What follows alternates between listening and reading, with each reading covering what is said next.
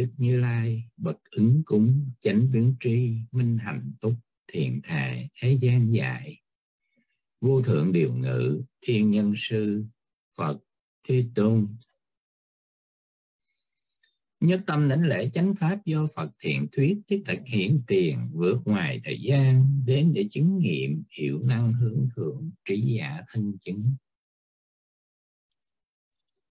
nhất tâm lễ lễ chư tăng, đệ tử thế tôn, bậc diệu hạnh, trực lý hạnh, chân chánh hạnh, gồm bốn đôi tám vị đáng nhận lễ phẩm phẩm phẩm, tế phẩm, kính lễ, là phước điền vô thượng trong đời. Nguyện cầu với đức phật bảo, nguyện cầu với đức pháp bảo, nguyện cầu với đức tăng bảo, xin tam bảo gia hộ ngăn ngừa mọi tai ương những hiện tượng bất tường, những mộng mị sâu xa, những nghiệp duyên trở ngại thải đều hao tan biến. Nguyện muôn loài chúng sanh, người khổ xin hết khổ, người sợ hết sợ hãi, người sầu hết sầu bi. Biết cho với niềm tin biết hỗ trì dễ hạnh, biết lạc tru trong thiền.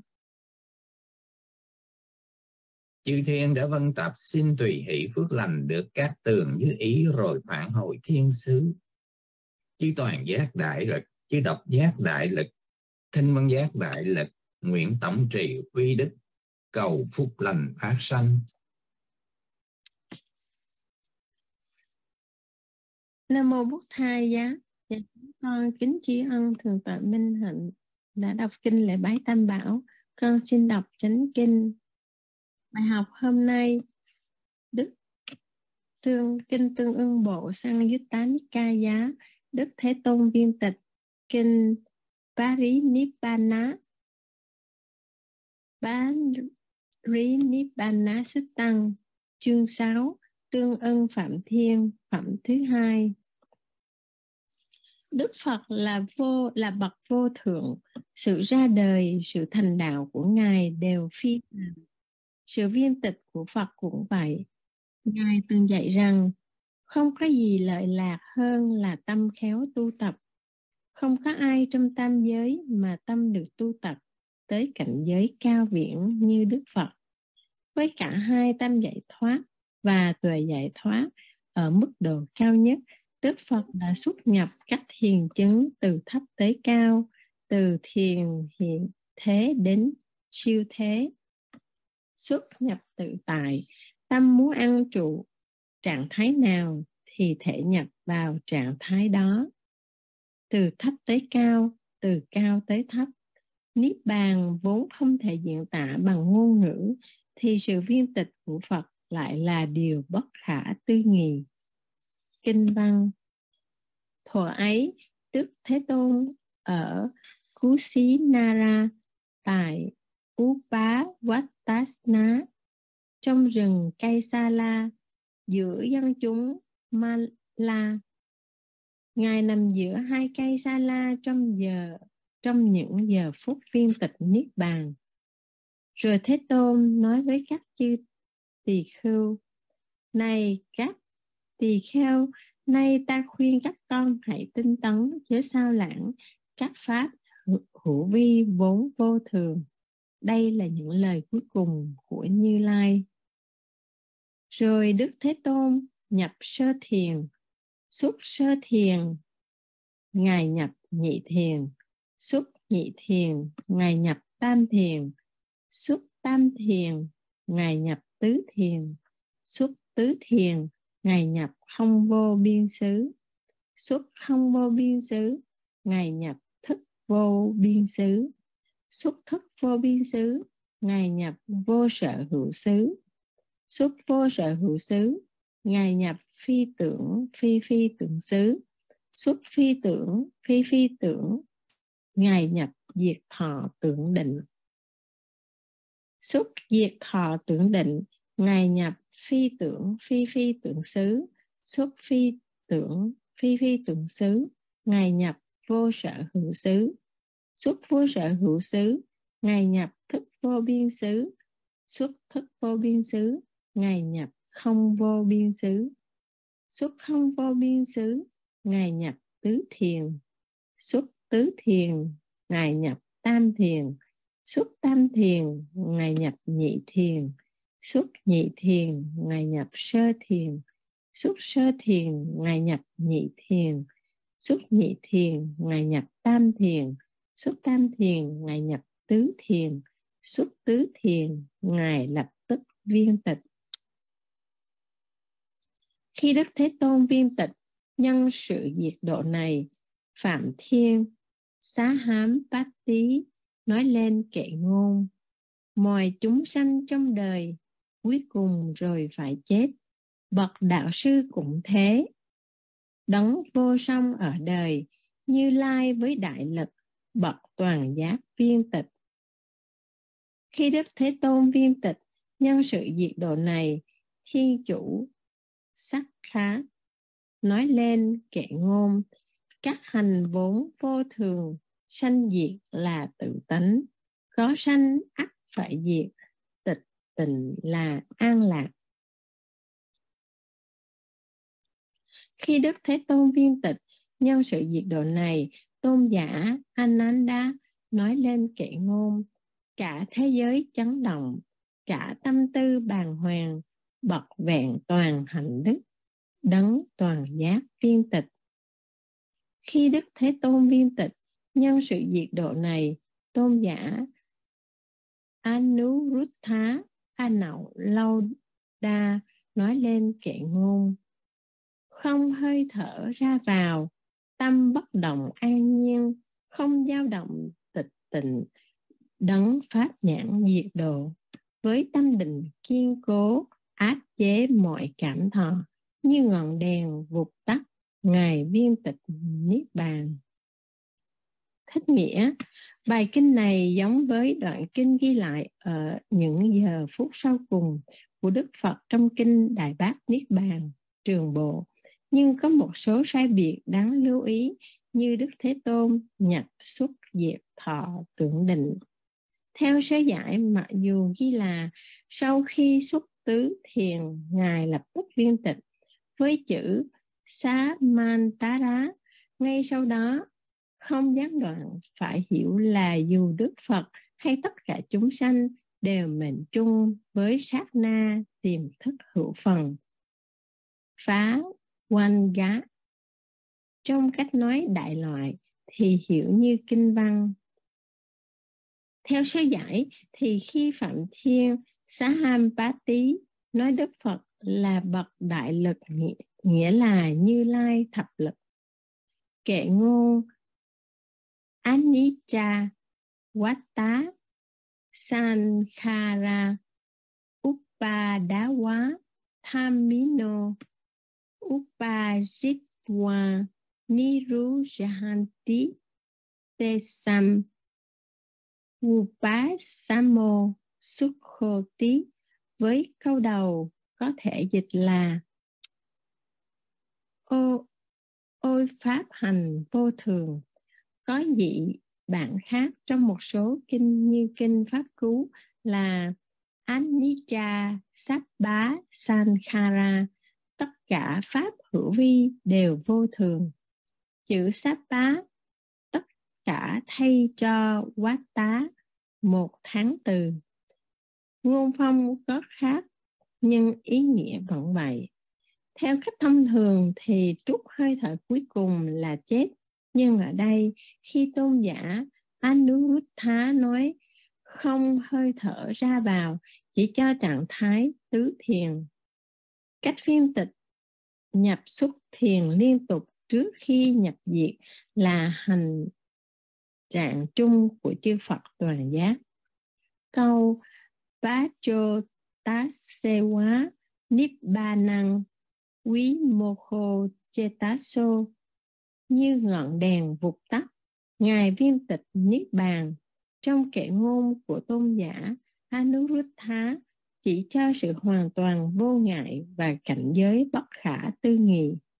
Sắc bá so á panyat pha Upa gamo của đức phật khi bát niết bàn. Cho tỳ kheo giác đẳng dịch và biên soạn giáo trình.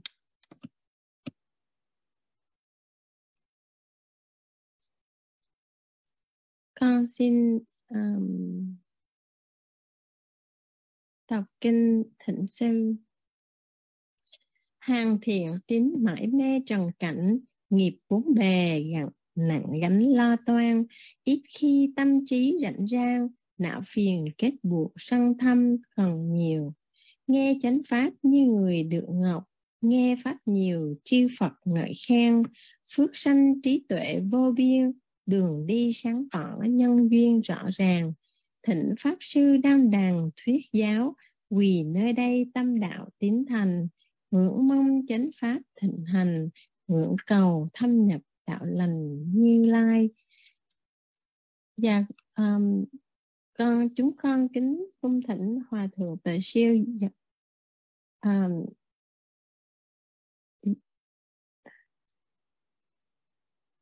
à, giảng dạy bài học ngày hôm nay con kính cung thỉnh ngài nam mô bút thai giá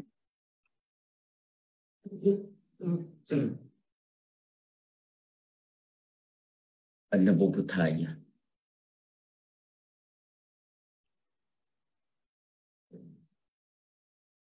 kinh lễ Phật, kinh lễ lễ giáo pháp, kinh lễ tập trung kính thưa quý vị, hôm nay, ngày thứ ba lẽ ra thì à, thượng tọa tây quyền thuyết giảng. Nhưng thượng tọa tây quyền bận công việc không có vào rừng được, hoặc là vào trễ nên chúng tôi điều khuyết. Và hôm nay thượng, hòa thượng nhất đẳng cũng bận công việc. Cho nên không có vào dẫn nhập được. Thì sau khi VMC đọc trên kênh về học. Ờ, chúng tôi trực tiếp giảng bài học này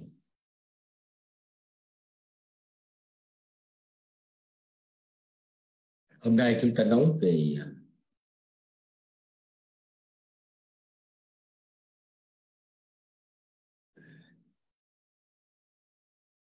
về kinh đại bác tiếp bàn.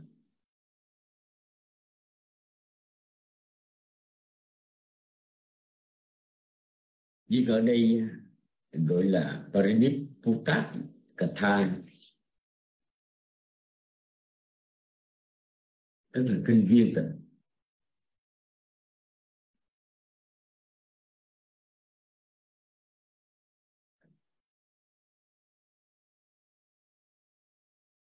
Bởi vì kinh đại bác cái bàn Mahaparinipanasutta kinh trường bộ thì nó dài lắm thưa quý vị và khi mà các ngài kết tập tâm tạng thì các ngài trích ra một phần ở trong cái bài kinh đài bát đế bàn. Trường bộ để chủ yếu là lấy được những cái bài kệ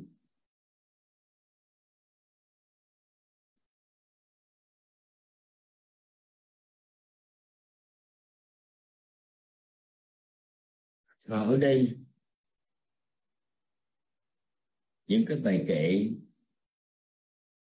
có tương đương với phẩm thi. Thì ở trong kinh Đà Bát thứ Bàn có cái bài kệ mà của Phạm Thiên Sambati nói lên, sau khi Đức Thế Tôn vi tịch chúng ta phải hiểu cái tình tiết như vậy.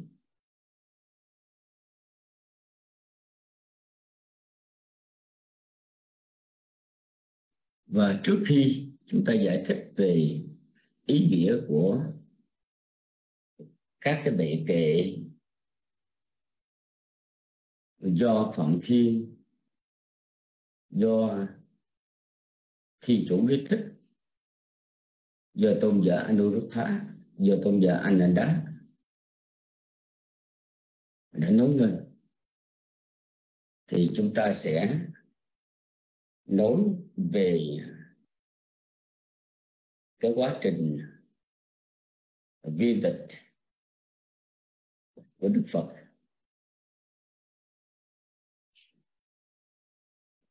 Theo Buddha China tức là tục lệ của chư Phật. Thông lệ của chư Phật là các ngài không phải viên tịch bằng cái lộ ý viên tịch thông thường. Một cách này cũng không có viên tịch bằng cái lộ hiện thông. Hay là các ngài cũng không có vi tịch bằng cái lộ đắc mạng? Mà tiêu Phật. Viên tịch. Còn cách liên thiền. Liên thiền có nghĩa là liên đới, nhập xuất các tầng thiền.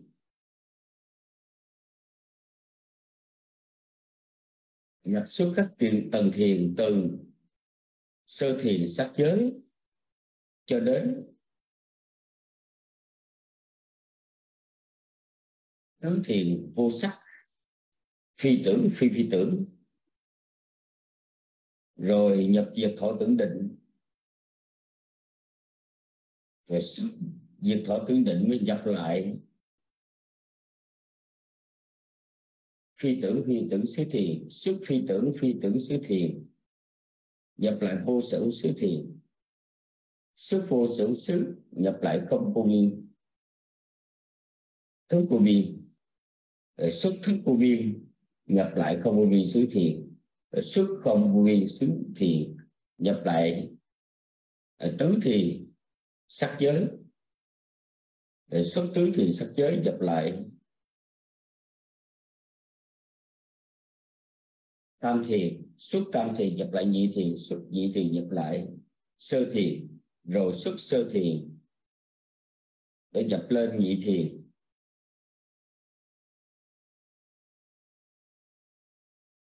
xuất nhị thiền nhập lên tam thiền xuất tam thiền nhập lên tứ thiền rồi xuất tứ thiền rồi vi tịch chỗ này cũng cần được giải thích có ba điểm mà chúng tôi thường giải thích ở đây thứ nhất là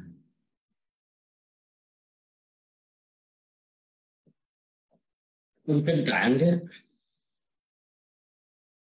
thì thiền chỉ có theo cái hệ thống bốn thiền sơ thiền nhị thiền tam thiền, tứ thiền.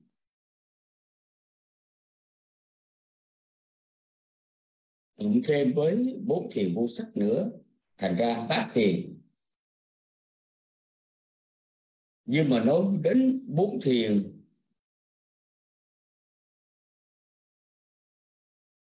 của tịnh kinh thì trong vi diệu pháp hay là thắng pháp thì nói đến hệ thống năm thiền.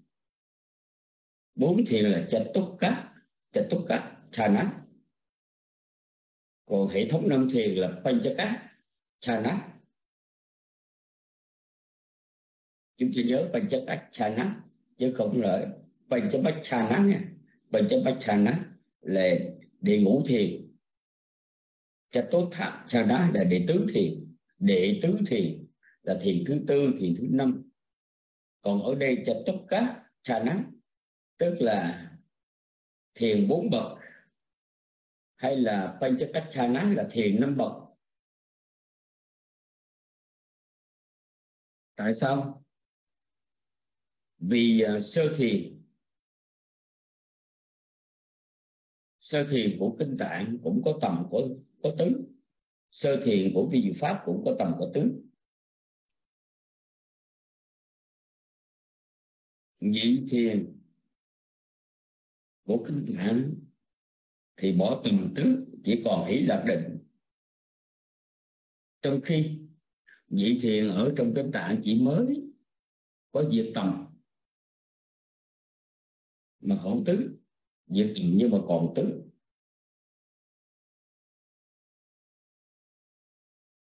cái này chúng ta gọi là Avitaka Vicharamata là còn tứ cho đến tam thiền thì trong vi diệu pháp á, cho đến tam thiền thì mới bỏ luôn cả tứ. Như vậy Avitaka Vichara là vô tầm vô tứ. Rồi hãy lực định do đó nhị thiền và tam thiền của vi diệu pháp là tương đương với nhị thiền của tạng kinh là mỗi từ mỗi tướng. Tạng kinh không nói đến.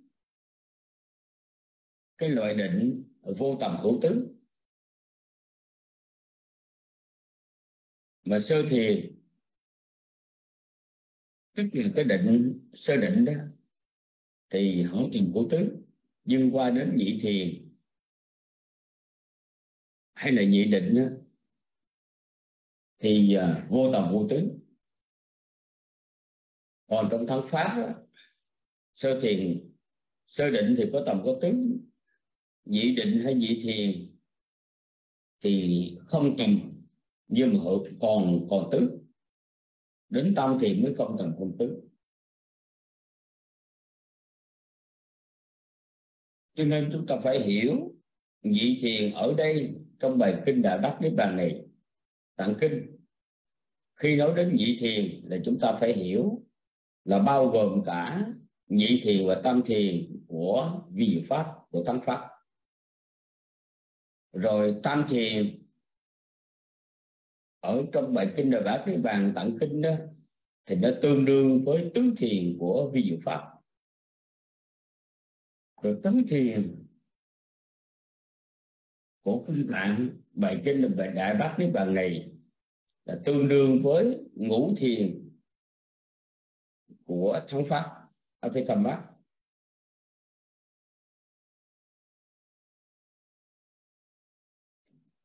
do đó, khi mà chúng ta đang học về kinh tạng tư ở bộ kinh trường bộ kinh, trung bộ kinh tương bộ kinh, tăng chiều bộ kinh, thì thiền ở đây được nói theo hệ thống bốn thiền. Cho nên cái này không phải là thiếu, mà vì cái hệ thống bốn thiền thì gom cả nhị thiền, tam thiền thành một. Còn thắng pháp thì tách làm tách ra. Cho nên thắng pháp có năm bậc thiền sắc giới, còn kinh tạng thì có bốn bậc thiền sắc giới thôi. Đó là điểm thứ nhất. Cái điểm thứ hai ở trong phần này là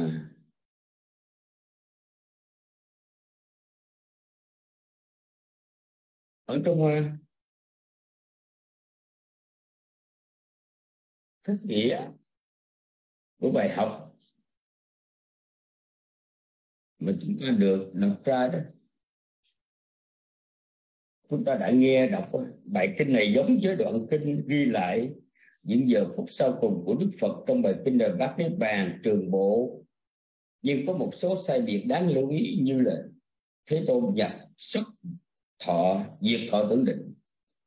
Thưa quý vị thật ra thì ờ, chúng tôi cũng không biết là hòa thượng ờ, chất đẳng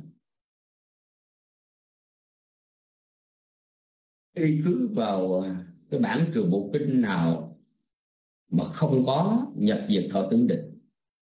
Nhưng mà cái bản trường bộ kinh mà chúng tôi đang cầm trên tay đó, Bali thì vẫn có Sanya Vedajita Iro Thăng Samapati Samapati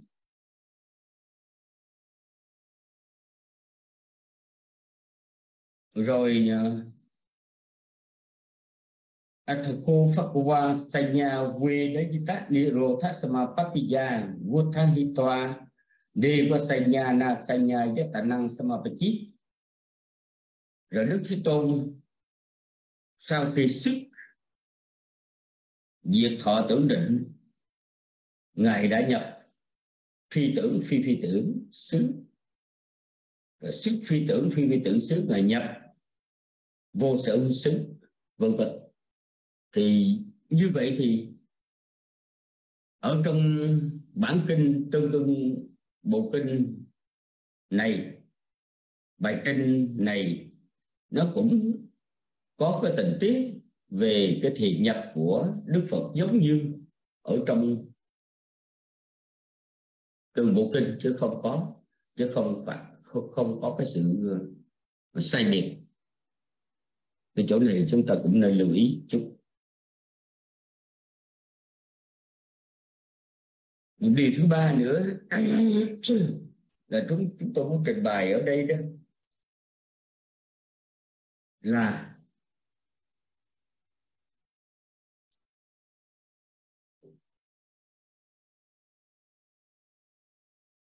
khi mà Đức Thế Tôn này nhập thiền từ sơ thiền đến diệt thọ tưởng định. Rồi từ diệt thọ tưởng định, ngài nhập thiền trở lui cho đến sơ thiền rồi từ sơ thiền, sắc giới lại lên đến tứ thiền. Sắc giới, tức là ngũ thiền sắc giới đó. Rồi ngài viên tịch. Thì cái chỗ này tại sao gọi sementara Samantara Phakwa pagi,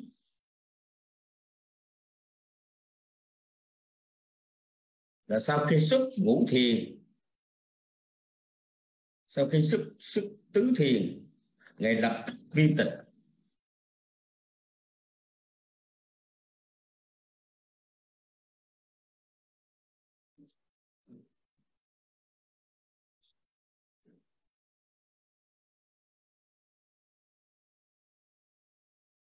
ở đây nó có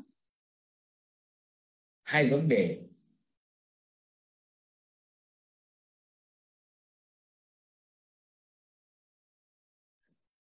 Không phải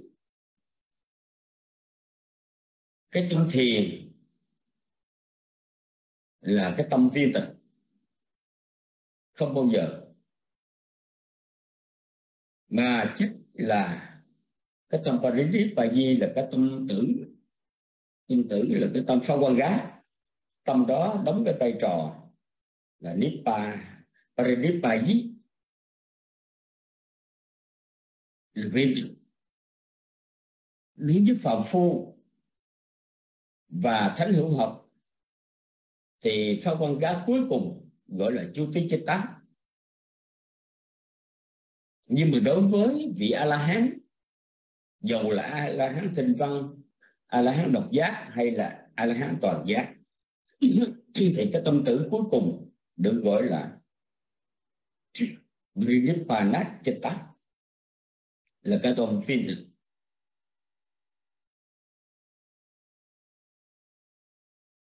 Nhưng ở đây trong chú giải giải thích cái chữ Samanantara đó. Samanantara, ở trong bản chú giải mà, nơi đây hòa thượng giác đẳng cũng đã có đăng đăng lên.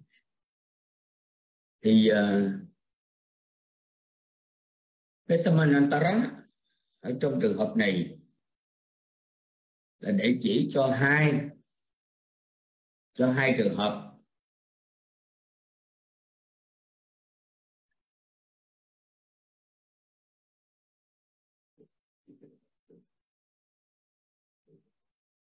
Tốt chana tòa, saman, samanantara phakwa parinipa, di tí trích lại cái con câu đó. Ở đây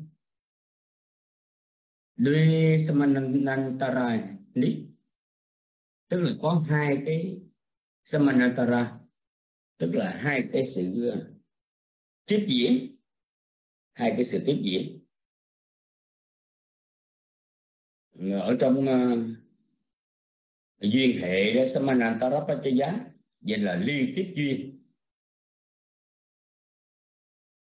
Hay gọi là điển vô gián duyên. Ở đây chúng ta gọi là hai sự tiếp diễn. Tiếp diễn theo cái lộ tâm. Xuất hiện xuất tứ thiền ở đây hai cái sự tiếp diễn đó là thế nào? Bê thạch chá chana samantarang là liên thiền là cái đoạn đầu đó, là liên thiền.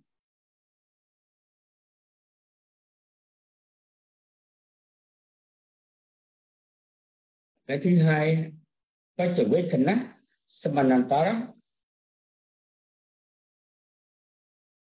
samanantara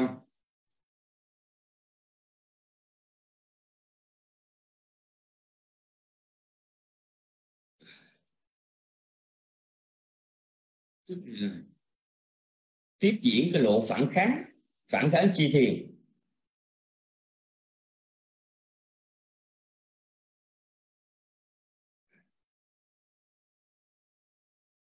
Thì ở đây cái trường hợp của Đức Phật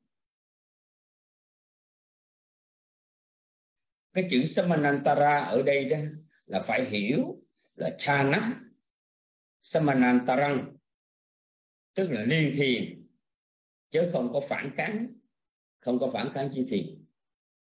Trường hợp mà vị a la hán rất ngạo tột mạng đó, nghĩa là như tỳ kheo vô thiết cá hay là tỳ kheo quắc lý, tự dẫn mà chết khi gần chết á, thì vị đã chứng a la hán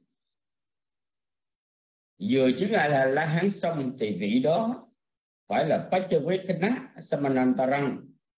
Tức là vừa đắc a la hán không vừa đắc a la hán không phải là tử liền mà vừa đắc a la hán thì vị đó phải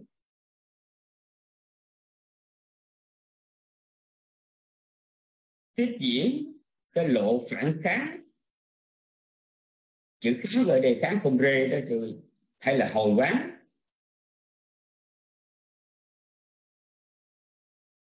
hồi quán lại phản kháng lại phiền não đã diệt. Đạo quả và niết bàn đã chứng đắc. Sau khi sau cái lộ phản kháng đó rồi đó thì mới là diễn ra cái lộ tâm cận tử. Rồi cuối cùng khi mà tương tử sinh lên rồi diệt thì chúng ta gọi đây là cái tâm viên tịch của vị a la hán đó là trường hợp của một vị à, ở cái cái với khách Samanantarang á, là để chỉ cho trường hợp của một vị đắc đạo tộc bạn đắc đạo tộc bạn. Hôm trước thì chúng ta học vi dụ pháp học thắng pháp. Trong cái phần mà lộ tâm viên tịch thì có cái tâm này còn trường hợp của đức phật, thì ở đây chát tốt chát tốt thác chana bút thà giá, sa hoàng găng ô tên nát tác xê và paradipanang gọi là chana samanantarang nama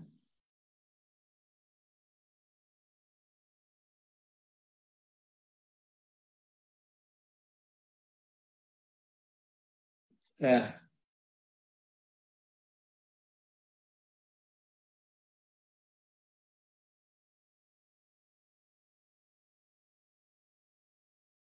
cái trường hợp của Đức Phật khi mà ngài nhập ngài uh, ly thiền tức là ngài nhập thiền từ sơ thiền cho đến diệt thọ tưởng định rồi ngài xuất diệt thọ tưởng định, ngài nhập ngược lại.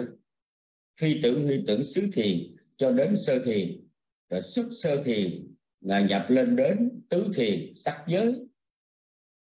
Tức là giao điểm giữa thiền sắc giới thì vô sắc giới lúc đó đó, là ngài đã viên tịch.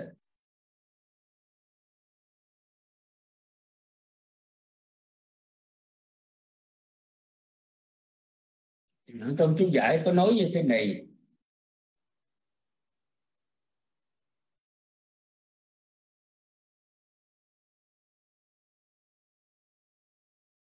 ทักวาปนะชานังสมาปจิตวาชานาวุธายะ ชานังกาลิปจุวิคิตวาทวังกัจจิเตนะยาเตนะลุคสเจนะปรินิปัย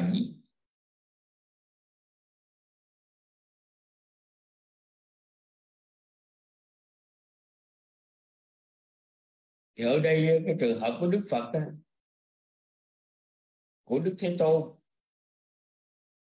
thì sau khi xuất thiền sau khi nhập thiền sau khi xuất thiền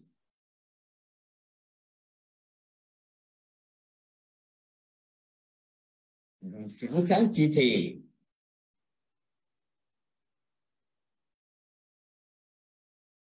thế thì phản kháng chi thiền chứ không phải là phản kháng đạo quả phản kháng chi thiền cha năng gần lý với cái tòa ngài phản kháng chi thiền rồi ngài biết bàn bằng cái tâm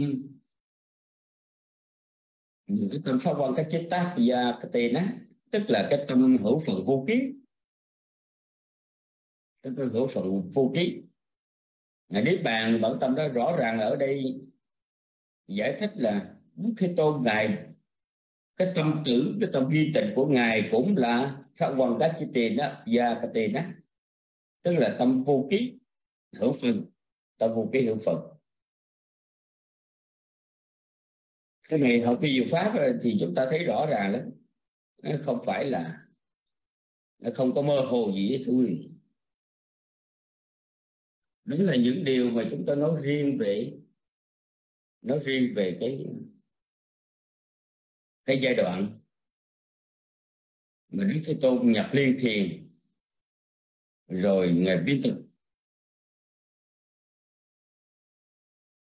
thì như vậy chúng ta nhớ rõ là ở trong trường bộ, hay là ở trong tương bộ đoạn kinh này, là Đức Thế Tôn ngài vẫn vẫn ghi rõ là ngài sau khi xuất phi tưởng phi tưởng xuất, ngài nhập diệt thọ tưởng định sau khi xuất diệt thọ tưởng định ngài mới nhập ngược lại phi tưởng phi tưởng xứ. Tôi thứ cái trường bộ kinh lẫn tương ương bộ kinh đều có đều có nói đến. Cái tâm phi tịch của đức thế tôn vẫn là vẫn là cái tâm hữu phần. Tâm hữu phần tức là cái tâm thái tục mà xưa kia khi thái tử Siddhartha hoàng hậu Maha, Mahamaya. Mang thai. Thì lúc đó từ cung trời đâu xuất xuống là thiên tử Santus Sita. Đã giáng sinh vào bụng mẹ. Đã tái sinh vào bụng mẹ bằng cái tâm tự tâm tự sinh. Bất tí sanh thí như thế nào? Thì sau này khi ngài trở thành Phật và lúc mà ngài viên tịch, thì cái tâm viên tịch bằng cái tâm đó bằng cái tâm tục sinh đó. Trình bày rõ ràng như vậy để chúng ta tham khảo thêm. Bây giờ thì ờ, chúng ta lại nói qua đến ờ, ý nghĩa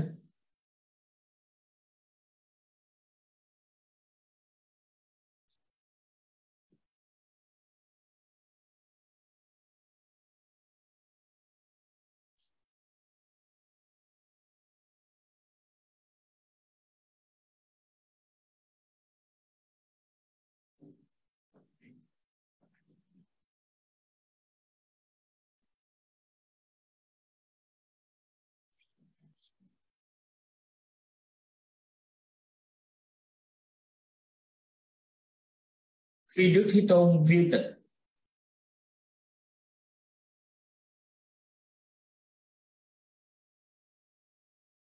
sau khi Đức Thế Tôn viên tịch rồi thì Phạm Phạm Thiên Sampati đã nói lên bài kể này. Sapi quá đến khi biết rằng khí phu ta lo kề, Phuta sẽ Samusayam Yatha Eta Di so Satha. Loke Apati Puklo Tathagato Palapato Samputho Paraniputo những chúng sinh trong đời cuối cùng rồi phải chết. Bậc đạo sư cũng thế. Đến vô song ở đời, Như Lai nên thập lực cái này chúng tôi chúng tôi sửa lại. Tạch thai và tô Palapato Palapato tức là cái vị mà đạt đến thập lực tuệ lực tuệ. Còn nếu mà chúng ta nói như lai với đại lực thì ờ, chúng ta lại hiểu cách khác. Có thể là đại quy lực hay đại thần lực. Còn nếu mà chúng ta, mặc dù chỉ có chữ Balapato thôi, nhưng mà chúng ta cứ dịch là như lai đứng thật bình. Thì như vậy nó nó sẽ rộng nghĩa và không có bị hiểu lầm. Còn nếu nói như lai với đại lực, thì trong trường hợp này, ngài có thần thông thì cũng gọi là với đại lực. Mà tà thai và tôi là chủ. Và cũng có tôi cũng là chủ. Do đó chúng ta dịch rồi đứng như lai, như lai đứng thập lực. Mỗi chúng sinh trong đời cuối cùng rồi phải chết. Bậc đạo sư cũng thế. Một phu sinh ở đời như lai đến thập lực bậc toàn giác vi tịch ở đây trong trường hợp này, chúng ta phải hiểu một vài nghĩa như là chữ apatit poklo đứng vô sung ở đời. Chữ apa, chữ apatit poklo có nghĩa là đối thủ. Apatit poklo tức là không có đối thủ, tức là không có người sánh ngang nào ừ, nếu mà chúng tôi dịch lời Đức Phật là không có đối thủ thì nghe kỳ quá. Giống như là ở trong trong võ thuật kiếm hiệp thưa quý vị. Cho nên ở đây không có vụ đánh đá trong trường hợp này. Không phải là cái sự tranh, không có sự tranh đua trong trường hợp này. Tranh đua giành thắng thì có kẻ thắng người bại nhưng mà người nào mà không có ai đánh thắng nổi thì nghĩa là không có đối thủ. Đúng cái nghĩa Apatipukalo là là đối thủ. Apatipukalo là không có đối thủ. Nhưng mà ở đây chúng ta dịch tạm là bằng vô sinh ở đời, lô Loke Apatipukalo là chúng ta phải hiểu là ở trên thế gian này không thể có, nếu nếu mà có một vị Phật thứ hai đó, thì mới là một cái vị đồng song với Đức Phật hiện tại, Đức Phật Thích Ca. Nhưng mà vì ở trong thế gian này không thể xảy ra, có hai vị chánh đẳng chánh giác xuất hiện một lượt. Do đó, Đức Thế Tôn là cái vị độc tôn là không có sa môn bà la môn hay phạm thiên chư thiên nào có thể sánh ngang với ngài được. Không phải sánh ngang với ngài được. Trên gọi là bậc vô song ở đời.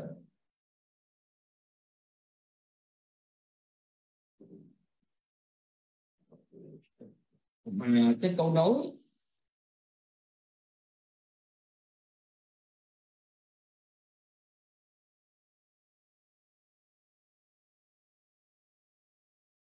như lai đến thập lục đó.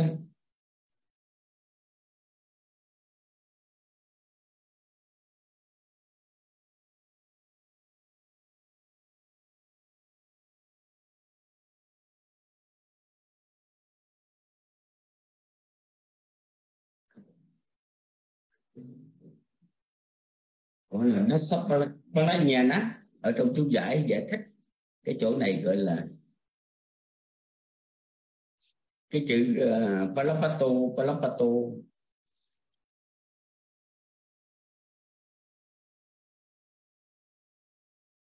là nước sắc quy thăng nhà nó palampato vị mà đã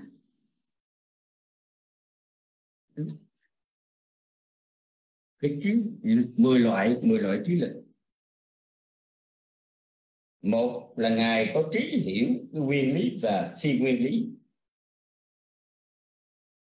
thana thana nhana hai là ngài có trí biết quả nghiệp kapavipa ca nhana ba là ngài có trí biết đạo lộ hội sanh thú, sanh thú là, là cõi tái sinh. Sắc thác Gamendi đa nhà nó bốn là ngài có trí biết cái bản chất dị biệt.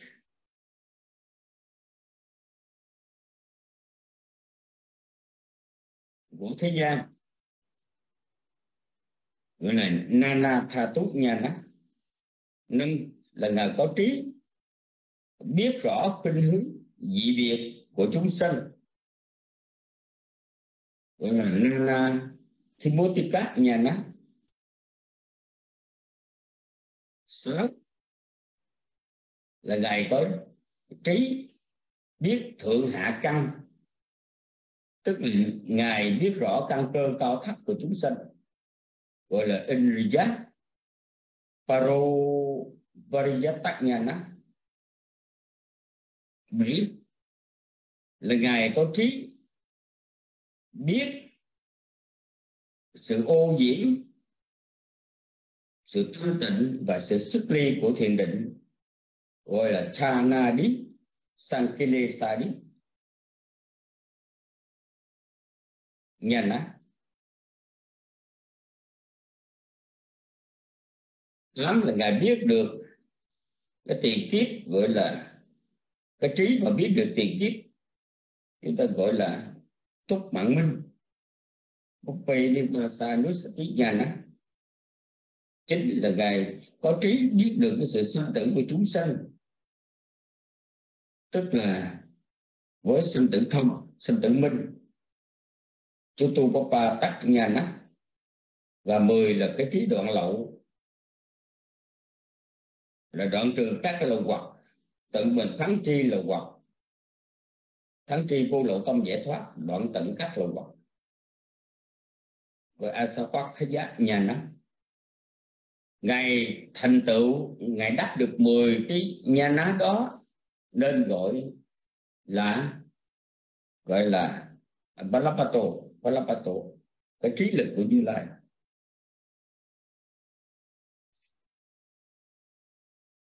Mà thưa quý vị đây khi mà Thiên Sampati đã nói lên cái bài kệ này, ý nghĩa là nói, một đạo sư dù là đấng vô song ở đời là không có đối thủ. Là đấng hợp lực tuệ. Là đấng toàn giác. Samputho nhưng mà ngài cũng viên tịch. Vì mọi chúng sinh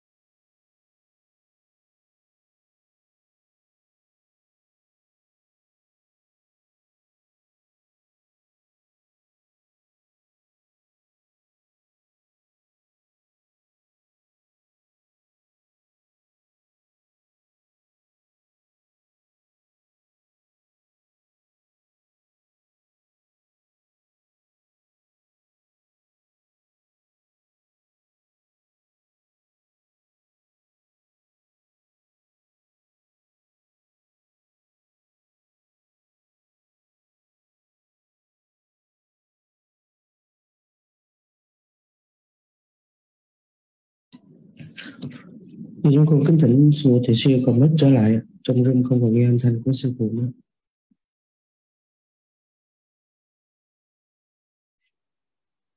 Sao vậy cả? Quý vị có nghe được chúng tôi nói không?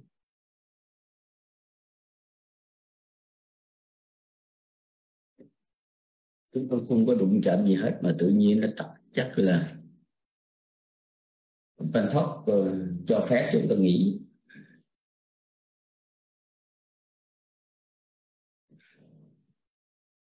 nhưng mà hôm nay thì không có vị giảng sư nào trong rừng. Cho nên chúng tôi tiếp tục. Thì thưa quý vị, ở đây cái bài kệ này là Đức Thế Tôn Đại Cổ Thuyết ở trong Pháp Cú, được ghi ở trong Pháp Cú chút, mới nói là Anicca Sapasankhara Apadawaja Kamino Pachitone Ruchanti Te Sanghu và Samosuko câu này chúng ta phải hiểu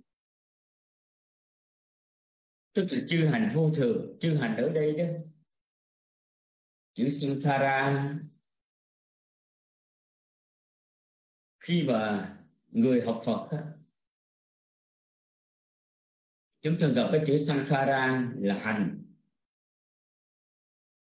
Là hành chúng ta phải hiểu nó ở nhiều cái góc độ của chi pháp khác nhau. Như chúng ta nói rằng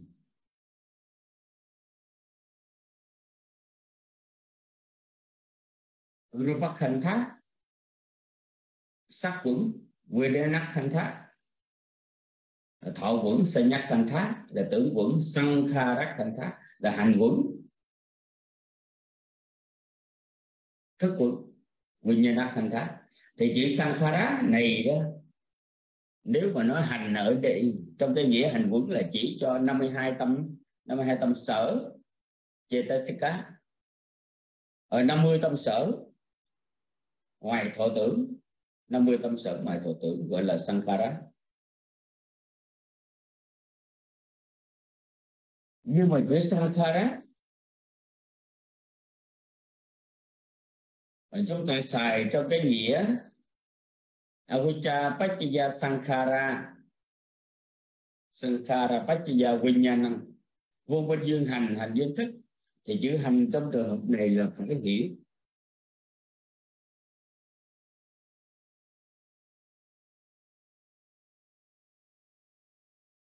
Kami Sankhara, là nghiệp hành. Ở đây nghiệp hành nó gồm có hai là, gồm có ba. Punya Fisankara phi phúc hành là chỉ cho tư tư bất thiện, tạo nghiệp, bất thiện.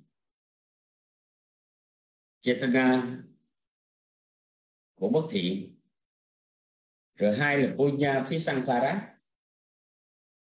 là phúc hành. Ở đây chỉ cho tư tâm sở hiện ở trong cái tâm thiện thì thế nó trở thành cái thiện nghiệp Rồi thứ ba anenja phía sankhara tức là bất động hành, là chỉ cho tư tâm sở hiện ở trong tâm thiện, vô sắc giới. Thiện dục giới thiện sắc giới, tư tâm sở hiện trong thiện sắc giới thiện vô sắc giới trong 13 tâm thiện đó thì chúng ta gọi là punya phía sankhara phúc hành. Thì như vậy, cái chữ sankhara mà xài ở trong nghĩa của dư sinh đó, và tính cái samabada y tư sinh, thì chữ sankhara hành trong trường hợp này, chi pháp chỉ là cái tâm sở tư, thiện hay tư bất thiện thì thế thôi.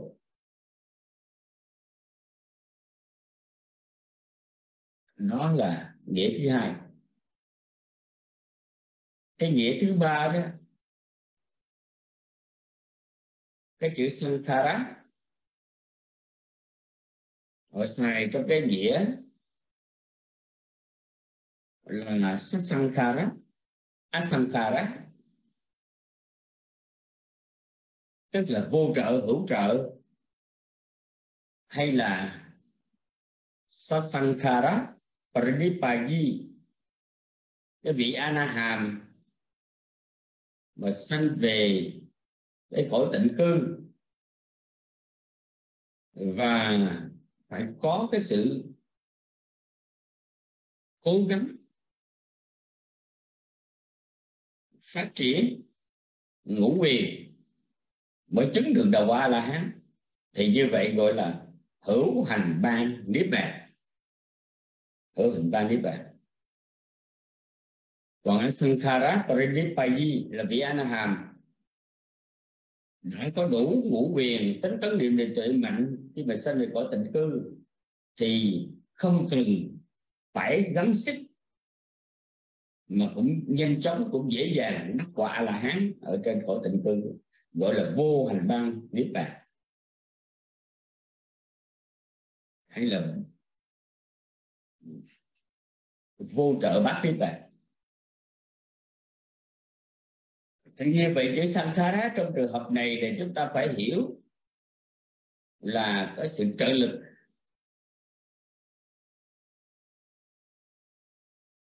Còn khi mà chúng ta nói đến cái chữ Sakti sankhara anicca, hay là anicca vata sankhara thì chữ sankhara trong trường hợp này là chỉ cho pháp hữu vi, là chỉ cho tâm, chết tác tâm sở cả và sắc pháp rupa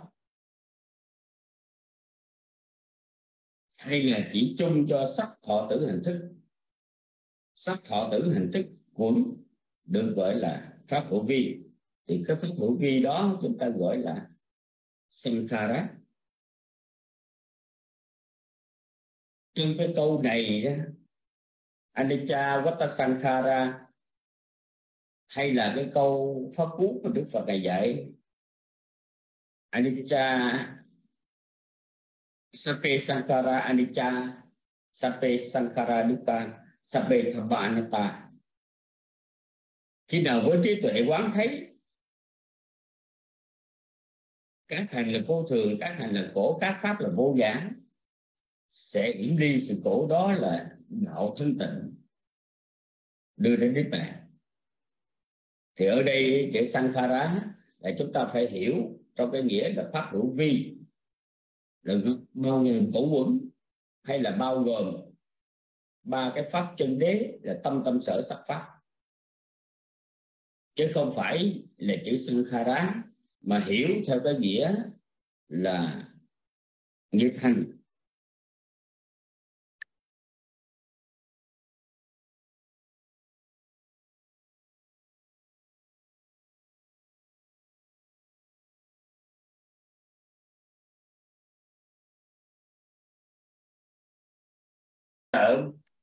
Sasankhara hay là asankhara? Chúng ta cần phải phân biệt chỗ đó. Chữ nghĩa bất định nghĩa Phật pháp và định pháp được trên chữ ai hỏi chữ sankhara là gì? Chúng ta phải hỏi họ. Bạn muốn nói chữ sankhara trên phương diện nào?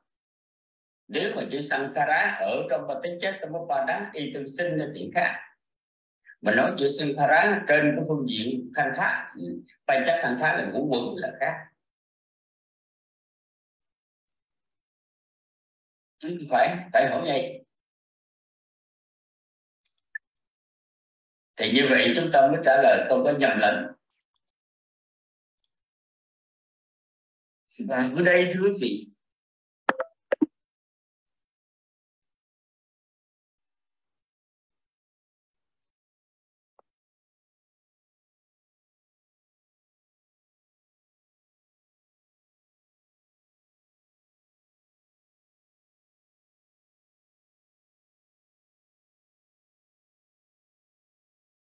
sau khi hôm nay chúng tôi bị trục trặc.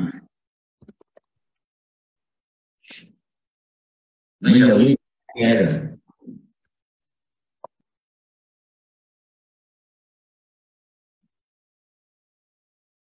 Quý vị nghe lại chưa?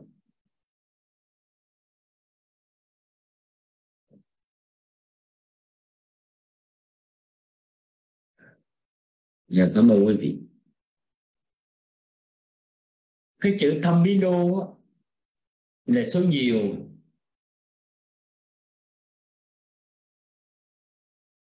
Bởi vì chúng ta xài chữ sankara là số nhiều. Cho nên chữ thamino mi ở đây nó cũng xuất phát từ cái chữ chữ tham má nhưng mà chữ tham má trong trường hợp này, chúng ta đừng có nghĩ hiểu là giáo pháp. Mà chữ tham má ở đây là tự tánh. Như ta nói chữ thamata nó là tự nhiên. Tự nhiên đi. Thamata thamada thamada cho nên mới xài chữ thâm mi chữ thâm mi số nhiều là thâm mi nô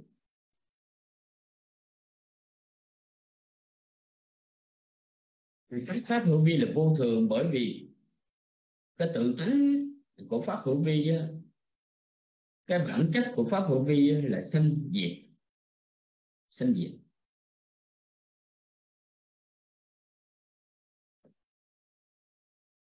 Thì câu thứ ba giải thích Upachitwa Niruchanti là chúng sau khi sanh khởi, sẽ ngoại diệt. Tê sang vu pasamo sukho chữ tê sang và pasamo vu samo là cái cái sự tật tịnh. Tê sang vu pasamo là tật tịnh. Các pháp ấy tức là tật tịnh pháp hữu vi đây là chỉ cái niết bàn. Thì do đó chúng ta phải hiểu rằng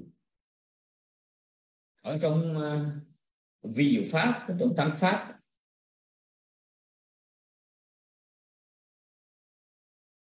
nghĩ đến ngũ quẩn và niết bàn. Thì ngũ quẩn, cái bản chất là vô thường của não vô ngã. Cái đặc tính của ngũ quẩn là vô thường của não vô ngã. Và niết bàn, đặc tính của niết bàn là tịch tịnh, vu và samu vu và samu hay là upasamu cho nên ở trong bài kệ này nói đến cái đặc tính của pháp hữu vi và niết bàn và như vậy tê sang vu và sumo sukho chữ sukho trong trường hợp này chúng ta phải hiểu là lạc lạc là gì? Nó có nhiều. Khi nào mà được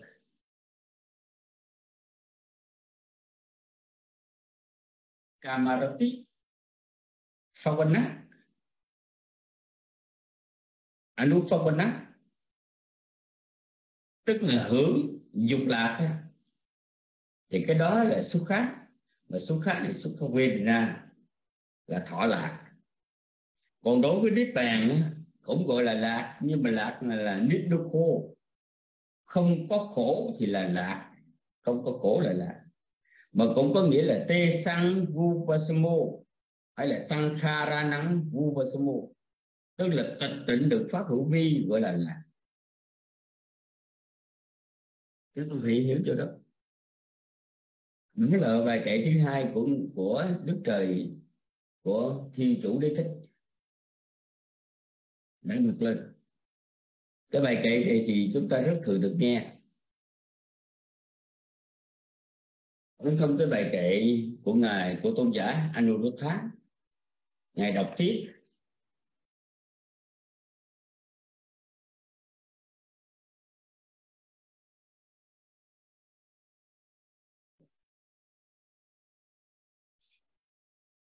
Tôn giả.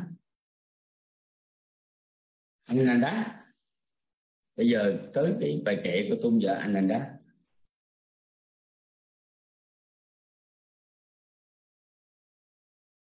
Cái ờ, cái điểm khác đó, thưa quý vị ở trong cái bài kinh tương bộ kinh này đó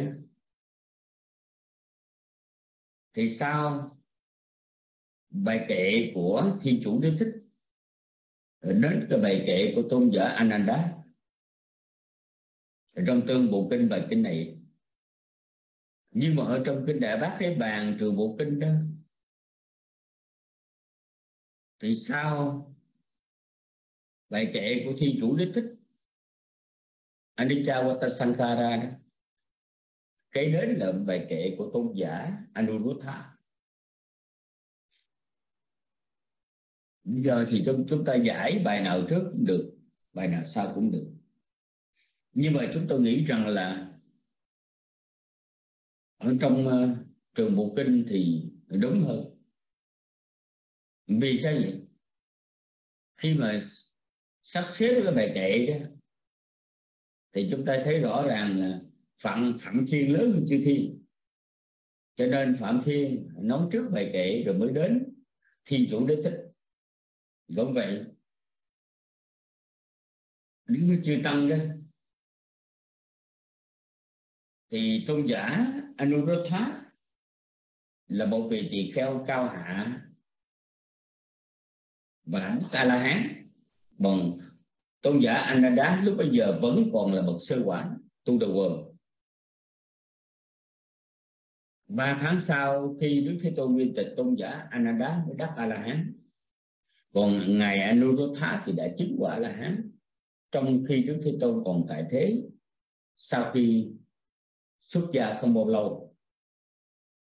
Vì vậy cho nên cái bài kệ kế tiếp chúng tôi nghĩ rằng như ở trong trường bộ kinh ghi đó, là bài kệ của tôn giả Anuruddha, thì có lẽ là hợp lý hơn. Rồi sau cùng mới là tôn giả anh đá đã nói lên cái bài kệ.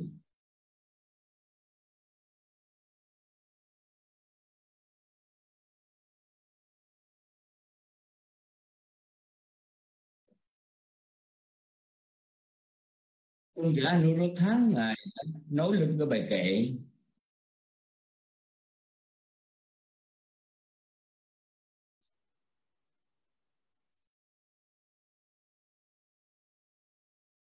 Không hơi thở ra vào. Thân bất động an nhiên, không dao động tịch tịnh. Đất pháp, đứng pháp nhãn diệt độ với tư định chi cố áp chế mọi cảm thọ, như ngọn đèn vụt tắt là viên tịch niết bàn.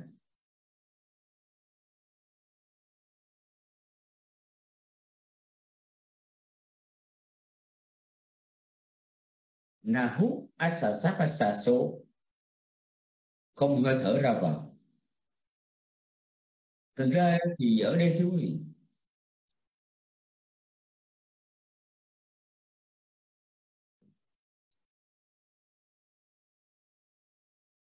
thường thì người ta nghĩ rằng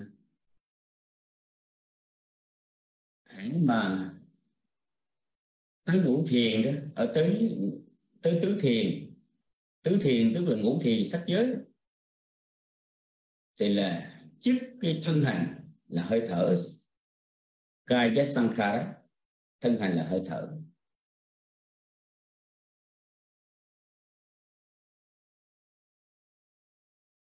Ở đây thì không có liên quan gì đến tứ thiền hay ngũ thiền hết. Có nghĩa là nói đến cái sự chết. Không hơi thở ra vào là chết.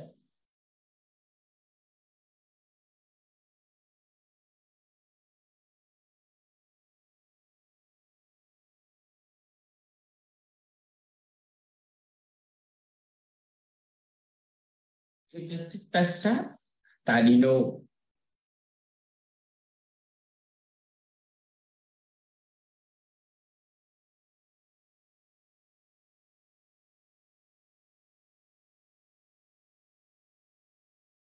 tâm vững trú.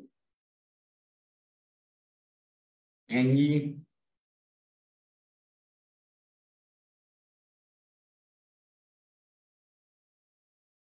Ở đây trong chú giải giải thích trong trường hợp này nữa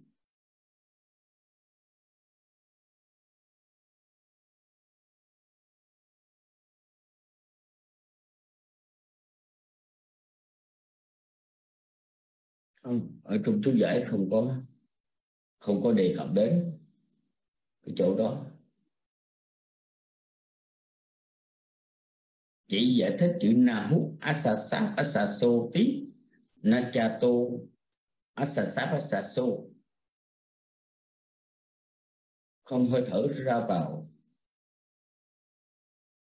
Tức là không không còn hơi thở.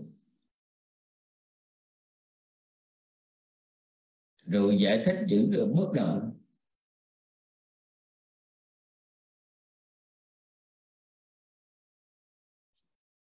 Nói với Đức Phật thì khi mà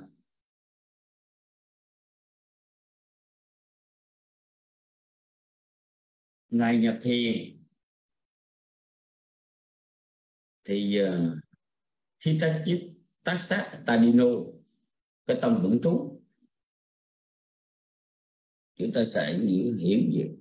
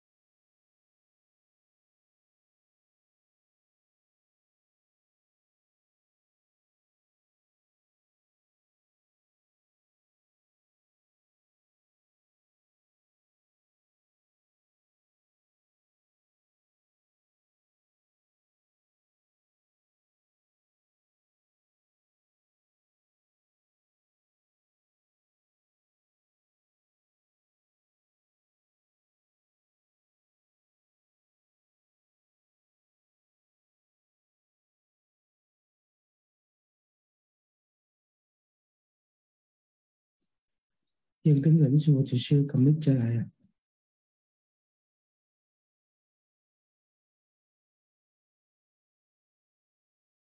mệt quá, hôm nay chúng tôi mệt quá. Mỏi tay quá. Tại sao mà cứ ờ, trục trặc hoài như thế?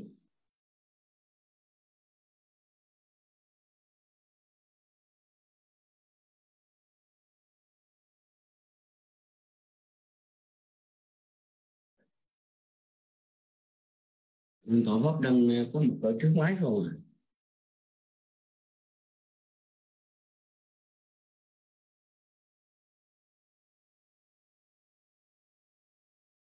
Xin hỏi Thượng Tọa đang có mặt ở trước máy không? Thượng Tọa có nghe được chúng tôi nói không?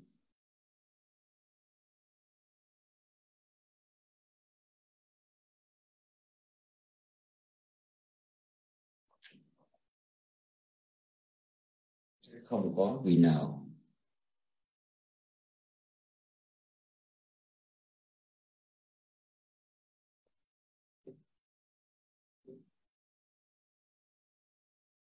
Để thưa quý vị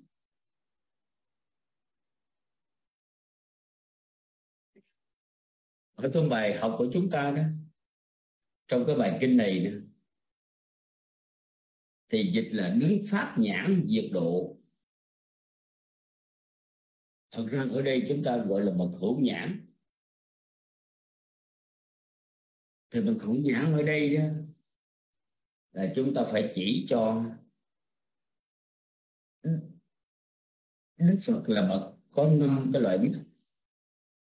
Dục nhãn, thiên nhãn, tuệ nhãn, phật nhãn và biến nhãn. Biến nhãn tức là nhất thiết chủng trí phải những ra gì còn khi chúng ta nói đến pháp nhãn thì chúng ta sẽ bị ờ, nhầm.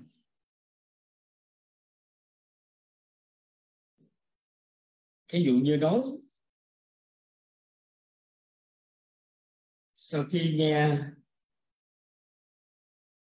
sau khi dứt sau khi đức thế tôn dứt bài pháp thoại thì uh,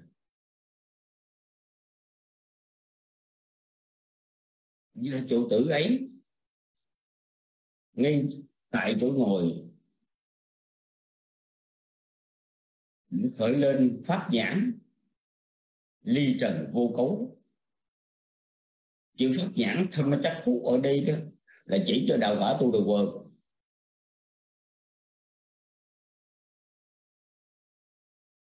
cho nên ở đây, chỉ chắc phú ma thì chúng ta phải về là bậc hữu nhãn tức là bậc có con mắt. Tức là có năm con mắt, có năm loại mắt. Chúng ta phải hiểu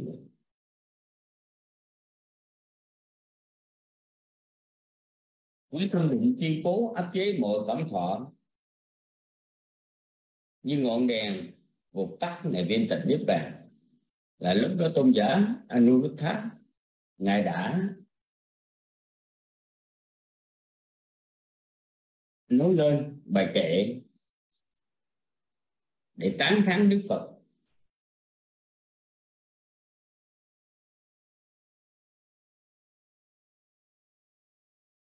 Thì như vậy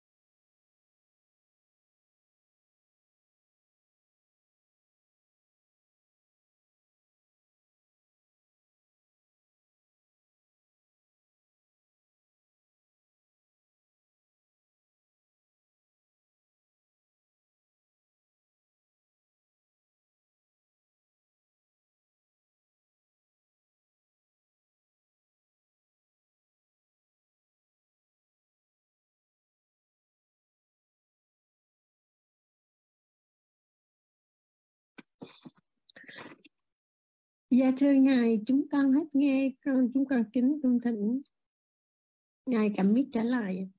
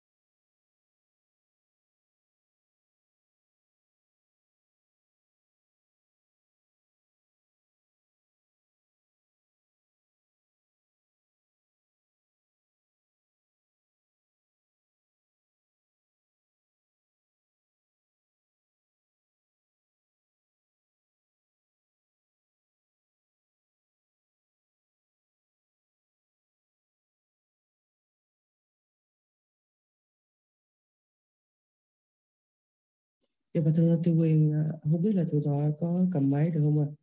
Cầm micro được không ạ?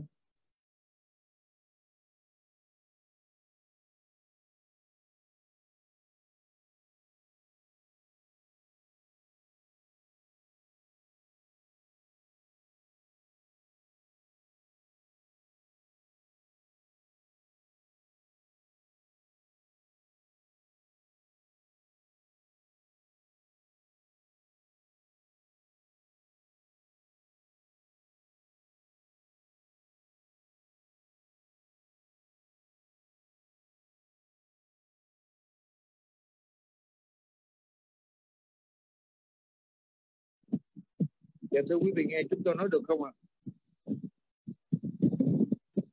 Phật, Nam Mô Phật, dạ có nghe được không ạ? À? Dạ Mô Phật, dạ quý vị nghe được được quá tốt. Bây giờ tất cả nghe được không ạ? À? Dạ rồi Mô Phật, thì thôi thì uh, nếu quý vị nghe thì chúng tôi sẽ sẽ sẽ sẽ sẽ um, cô thỉnh ờ, sư phụ ờ, đi nghỉ để mà sư phụ. Dạ, con nếu mà nói được rồi thì con sẽ sẽ uh, sẽ đẩm đến cái phần sau này nói về cái uh, sự niết bàn.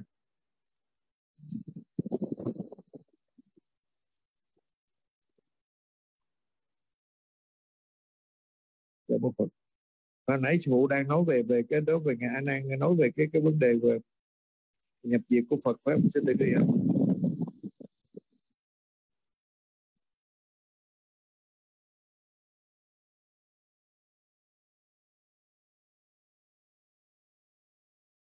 tổng kể ngài A Nan cho đưa cho tổng kể đi giúp tôi.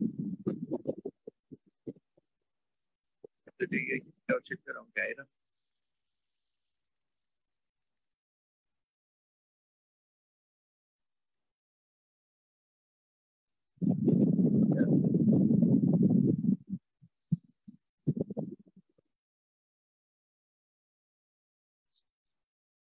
À, kính bạch kính bạch quý ngài kính thưa toàn thứ vị thì có thể nói rằng là ở trong tăng chi bộ kinh đó. À, có dạy rằng là có một chúng sinh duy nhất một con người phi thường xuất hiện trên thế gian. Vì hạnh phúc cho phần đông vì an lạc cho phần đông vì hạnh phúc vì an lạc cho chư thiên và loài người. Người đó chính là ai? Chính là đức thế tôn bậc a la hán chánh đẳng chánh giác hiện thể thế gian giải điều người thượng phu thiên nhân sư phật đà thế tôn. Sự xuất hiện người này đem đến sự an lạc đem đến cái sự hạnh phúc cho chư thiên và nhân loại. Và sự ra đi của người này để lại vô vàng tiếc thương cho chư thiên và nhân loại. Và, và quý vị biết vào giờ phút mà khi mà Đức Phật ngài viên tịch thì quả đất này chấn động mà trong kinh về chấn động bảy lần cũng như sự đản sanh sự thành đạo à, sự niết bàn sự chuyển pháp luân chính là rúng động cả tam giới này. Tại sao cái sự rúng động đó chính là là cuộc đời này đã không còn hiện hữu, cuộc đời này để bệnh viện chia tay. Đức Phật ngài vĩnh viễn không còn lưu lại cái thân xác của mình, chỉ là cái báu, chỉ là cái pháp thân. Và những gì mà chúng ta được học, được hiểu, được biết. Còn cái báu thân của chính ngài, xin lỗi, còn cái kim thân kim thân mà bằng, chúng ta gọi là bằng da bằng thịt thì vĩnh viễn đã không còn nữa. Và một con người ấy đã vô vào đại niết bàn, tức là viên tịch niết bàn. Kính thưa quý vị, có thể nói rằng giờ phút đó nó rất là đau buồn, rất là khổ sở. Với những chúng sinh mà hiểu biết được cái con đường giác ngộ, hiểu biết được cái cái sự chấm dứt sanh tử khổ đau thì quả thực thì mới biết được, mới hiểu được là cuộc đời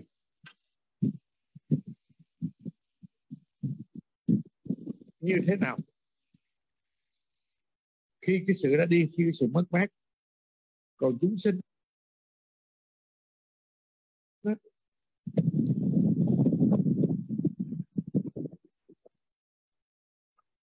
khi cái sự tịch diệt của Đức Phật đó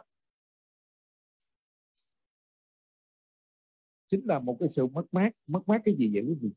Mất mát cái gì? Mất mát cái cái tinh, mất mát cái sự tu tập để giải thoát cái sự đoạn khổ, diệt khổ. Mà cái sự đoạn khổ, diệt khổ đó, chính ngài đã đã giác ngộ, chính ngài đã khai thị, chính ngài đã đã gửi tới cho cho muôn loài bởi vậy chúng, bởi vì khi mà chúng ta thấy rất là tuyệt vời khi mà sự xuất hiện của ngài. Thì chư thiên hoan hỷ, chư thiên ca tụng, chư thiên đại hoa đón chào. Và khi cái sự tịch diệt của chính ngài,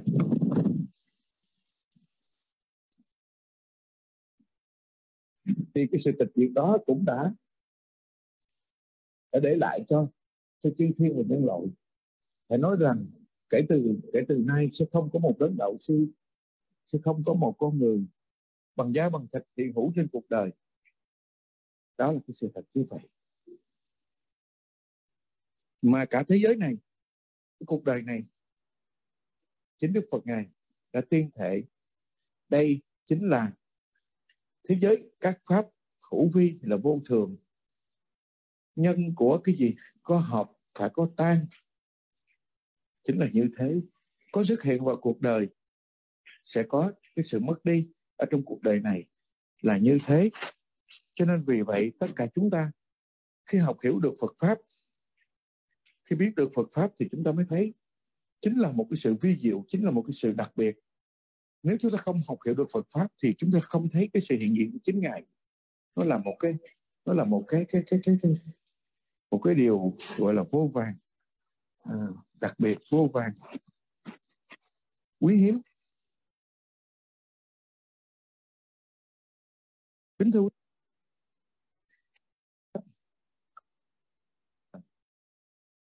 tôi có khó được gặp đời bởi vì có cái duyên để tạo đức. Hay chúng ta gặp đời dễ tạo những những cái phước lành tu tập hay làm nhân duyên, nó khởi động ta. Đây là sự thật. Nếu chúng ta không đủ duyên, đủ phước chỉ chính ngày ngày mới biết được mình cái gì và không được cái gì. Cái căn cơ trình độ, giác ngộ của mình, nó thiếu, nó đủ ra sao thì cái đó, trên cái tinh thần tuệ giác Phật thì ngài mới mới từng tri được. Cho nên một con người vẹn toàn, một con người viên mãn, một con người đầy đủ để vĩnh viễn ra đi. Ở trên cuộc đời này nó lạ cái người mà mang cho cuộc đời nhiều cái cái điều kiện tốt đẹp, nhiều cái điều đặc biệt, thì người ấy, sự hiện hữu của người đó chỉ là thời gian. Như vậy mới gọi là chúng ta mới thấy đúng là cái sự quý hiếm, cái điều đặc biệt đó đó nó không có cái cơ hội đó đó, không có đi à, không có có có có có có có có đi qua lần thứ hai cho chính chúng ta được. Mà đó là cái phước duyên lớn, cho nên quả thật những chúng sinh nào mà có đầy đủ duyên phước để chúng ta đi qua, gặp được trong trong cái vòng sanh tử luân hồi mà có thể gặp được một vị Phật, hay là được nghe ngài giảng thuyết được nghe ngài chỉ điểm được nghe ngài mà chúng ta gọi là cái cái khải thị cho chính chúng ta. Khó lắm rất là khó. Và vì vậy rất khó đó cho nên nếu như mọi người có cái tâm tu bây giờ chúng ta không gặp Phật ra đời. À, cái sự ra đi của chính ngài là chắc chắn rồi. Một con người toàn vẹn một con người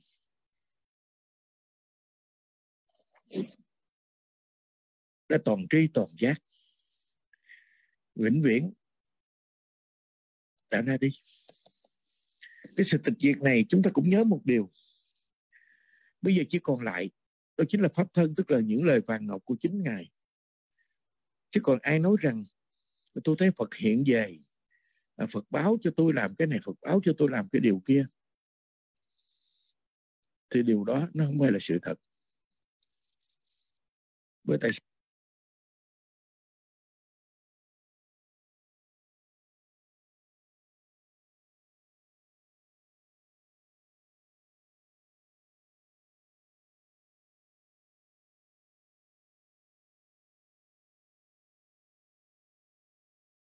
bây giờ quậy được.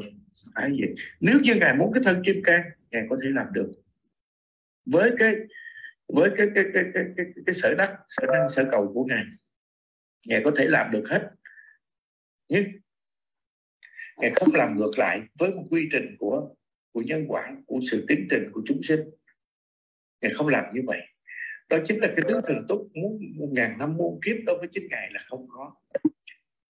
Chúng ta nhớ như vậy cho nên việc cái sự viên tịch của chính ngài tức là xả báo thân tức là xả báo thân tức là chúng ta nói xả báo thân. Chúng ta nghe nói như vậy có nghĩa là để chúng ta có cái sự quyết tâm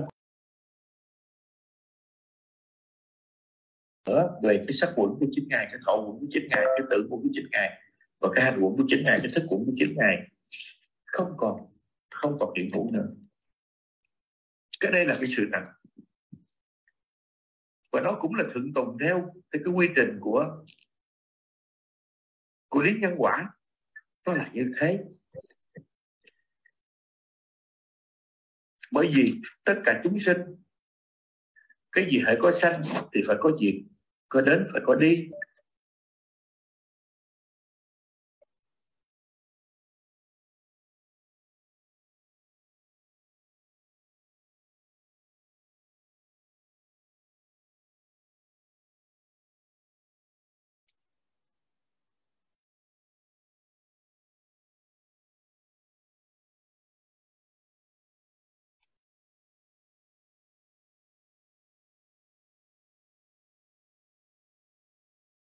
Ờ, là cảnh niết bàn chứ không có cảnh giới. Ở đó giới tức là giới vứt giới tức là cái ranh giới hay là cái giới vứt đó nơi đó có chúng sinh nương gác.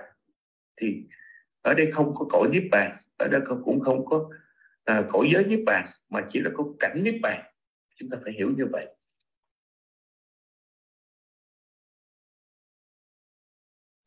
Cuộc đời hiện hữu. Đến cuộc đời với cái thanh sắc quẩn sắc quẩn này sau khi viên mãn sau khi đã làm những gì đã, tất cả 45 năm hoàng pháp độ sinh của Đức Phật đã gửi lại cho đời xuyên qua 45 năm đó chính là bảo thân đó. Chính là chính xin lỗi chính là pháp thân đó. Chúng ta phải nhớ như vậy. Còn cái sự viên tịch của Đức Phật là chắc chắn và không bao giờ có một sự xuất hiện Phật ở, ở trong uh, Phật mà Gotama, Gotama lại ra lại là, là, là xuất hiện như chúng ta thấy trong cái thời đại hôm nay. Chúng ta phải nhớ như vậy không còn nữa. Cách nay hơn 25 thế kỷ ở tại vườn Kusinara.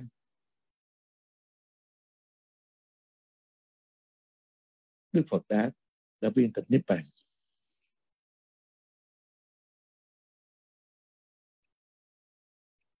Cái sự niết bàn của ngài chính là một cái điều mà để nói lên, một cái cái sự mất mát vô cùng to lớn. Sự mất mát đó cũng nói lên, cũng dạy cho ta biết được ở trong cuộc đời này là cái pháp hữu vi hay là sự hội tụ rồi cũng cũng phải rã tan. Rồi cũng phải, rồi cũng phải ra đi. Chính đức phật đó đến đối với cuộc đời này, rồi cũng thượng tùng theo lý lẽ của của nhân quả mà ra đi. Thật như vậy đó mà ra đi đó không bao giờ hẹn, không có một ngày tái lai trở lại. Bởi vì cái sự chấm dứt, cái sự viên mãn, sanh đã tận, phạm hạnh đã thành, việc nên làm đã làm. Sau đời sống này không cái đời sống sau sau đời sống này không còn cái đời sống khác? Cái đời sống của chính tất cả chúng ta. Do chúng ta khác ái do chúng ta tầm cầu. Chúng ta mới nghĩ hay chúng ta chưa có giải thoát thì chúng ta mới thấy rằng chúng ta muốn hiện hữu hay chúng ta sợ chết để chúng ta tầm cầu cái cái sự sống hay tầm cầu một cái à, à, cái sự tiếp diễn ở trong cuộc đời này. Nhưng cái nhìn của các bậc thánh đã viên mãn thì không còn cái gì hết.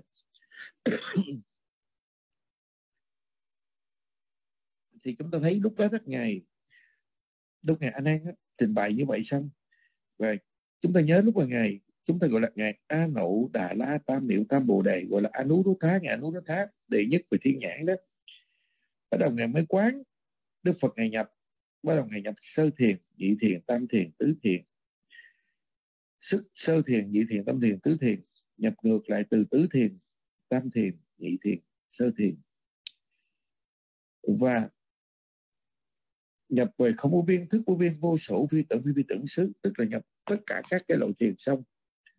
Ngày nhập ngược nhập xuôi đến một lúc. Thì cái thiên nhãn minh của ngài Anu Đô Thá đặc biệt mà. Ngài số ngài theo dõi cái quy trình nhập diệt của Đức Phật. Nhưng đến một lúc lúc mà xả tất cả báo thân bắt đầu Đức Phật vào chúng ta gọi là rồi đại niết bàn đó thì chúng ta ngày ngày ngày Anuruddha tức là ngày ngày à, A Nậu Đà La Tam Niệu Tam Bồ Đề đó và không còn thấy nữa không còn biết nữa. ở phương nào nữa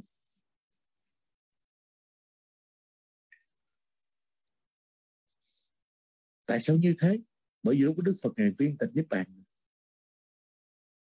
không còn thấy nữa, thì lúc đó ngài báo cho đại chúng tăng, Đức Thế Tôn đã biên tịch. Thì lúc đó quả đất rung động bảy lần. Như là một sự hối tiếc, như là một sự đau buồn, như là một sự mất mát, thảm thương. Một cơn sóng thần đã đi qua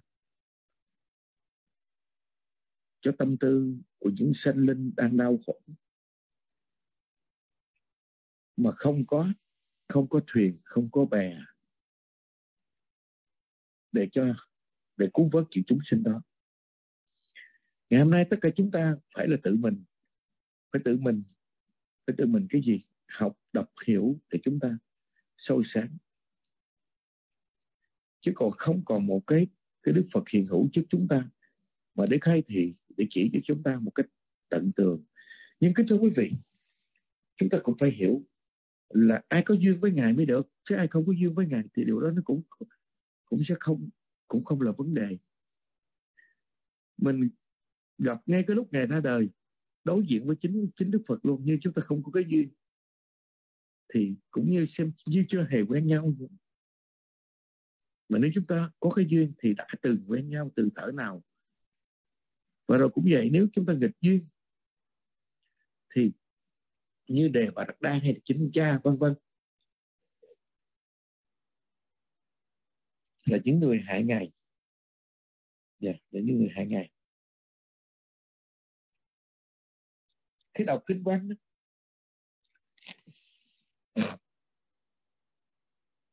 xuyên qua một cái cái cái, cái sự tịch diệt của Đức Phật.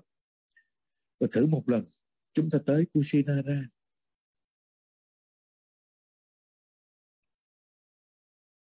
khi chúng ta nhìn chỉ là một một pho tượng kim thân Phật bằng xi măng cốt sắt nhưng cái hồn thiên đó, chúng tôi gọi là cái hồn tạp gọi tự là hồn thiên đó. nơi đó nếu như tâm tư của chúng ta thành tâm kính Phật thì như tự nhiên nó hiện về cho chúng ta. Một cái sự mất mát, một sự đau buồn vô cùng to lớn.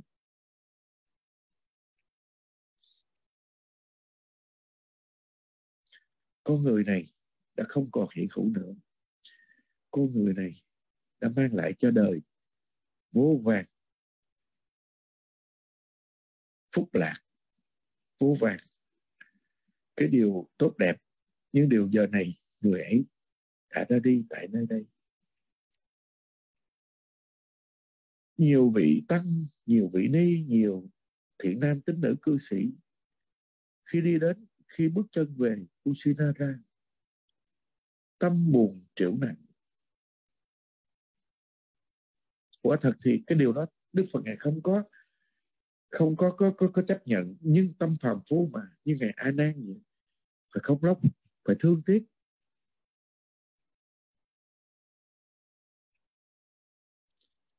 ngài a nan là vị thánh hữu học chứng đắc tu đầu quần cho nên cái việc mà ngài buồn đau chúng ta gọi là nước nước mắt đó cũng không phải là một vấn đề gì mà lạ chứ đừng nói chi. Là chính là những cái cái tâm mà cái tâm phàm của chúng ta thì chắc chắn rằng núi tiếc vô cùng to lớn.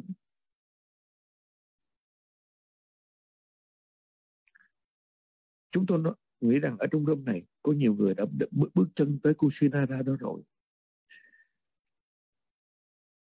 Bởi vì và thực chất đẳng xem như là hàng năm đều có chuyến đi hành hương ở xứ Ấn ở các thánh tích. Và nếu như ai chưa đi thì hãy cố gắng đi. Bởi vì trong bài kinh đại văn niết bàn đức phật ngài cũng cũng đã nói nếu như người nào có cái tấm lòng thành có một niềm tin tam bảo vững chắc. Đặt chân đến tứ thánh tích, nơi đản sinh, nơi thành đạo, nơi chuyển pháp luân và niết bàn, thì chắc chắn rằng người ấy có thể nói đặt một chân ở thiên giới. Cho nên chúng ta thấy cái sự hành hương về về đất Phật, nó là một cái sự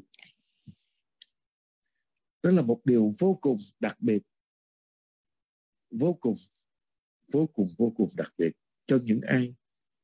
Là những người quy y tam bảo, cho những ai là những người có tấm lòng thành, có cái tâm hướng cầu đến Phật pháp, có cái tâm để tu tập, có cái tâm để để nghe, để nhận được cái cái lời dạy của chính ngài.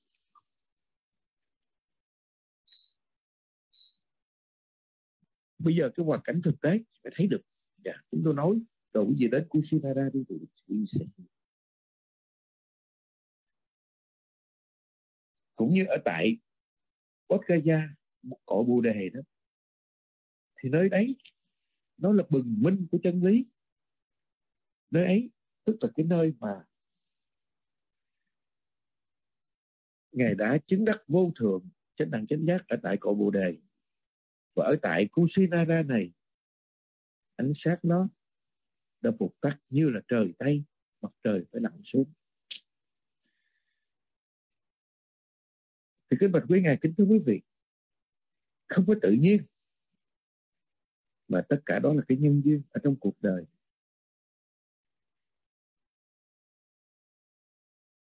Cái sự thực hành pháp độ thật sự là lâu là lâu mới có một vị chánh đẳng chánh giác ra đời không gian và thời gian này vô cùng vô tận. Và cứ như thế, đêm ngày, cứ như thế, đất nước lửa gió vần xoay. Tứ đại này thuận nghịch, đổi thay, phối hợp với nhau, tạo nên cuộc đời của không gian, của thời gian, của mọi cảnh vật mọi thứ, mọi điều do tứ đại tạo thành. Thì cũng từ trong tứ đại đó nó bất hòa, sinh ra những cái cái niềm đau nỗi khổ mà chúng sinh, là chúng sinh nương gá nơi nơi cõi giới tứ đại này, của vũ trụ quan này. Mà sinh sống mà tạo các cái cái nghiệp thiện, nghiệp ác cũng chính cũng chính tại cõi giới này. Trong tam giới này, nó như thế.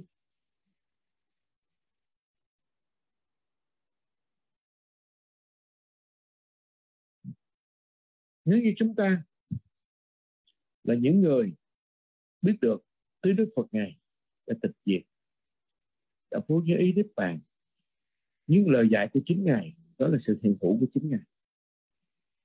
Cho nên chúng ta nhớ ngài dạy về quốc lý à,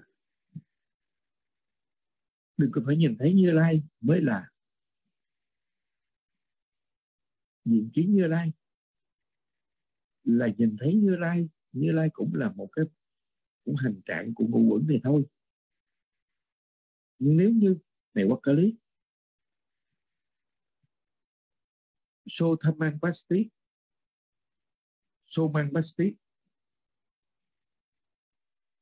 tham mang